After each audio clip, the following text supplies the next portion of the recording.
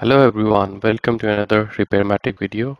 Please make sure to click the subscribe button now and I'll show you how to remove the side mirror glass on Volvo V50 S40. You need a plastic tool and then from the sides you just pry it out nice and slow and uh, it will come out really easily but you need to be really careful when you are going to remove these wires because they can be a bit rusty over the time. So just gently pull them up. If if they come out then it's okay. Otherwise you don't have to really stress them. Otherwise you can break the either the wire or something in the in the glass.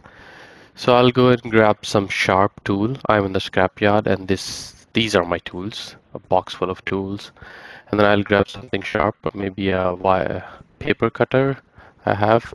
So I'll grab that and then with that I'll try to loosen up the the um, what do you say the wire clip so that I can remove it easily.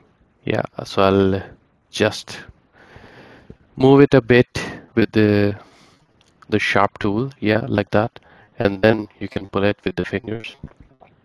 And then it should come out. Yeah, more. Yeah now it's out. So it's nice and easy. And then you can replace it with the new one. That's me. Hello. Hi. How is everyone? So make sure to subscribe the channel. Like my videos. Share my videos. I have more cool V50 videos.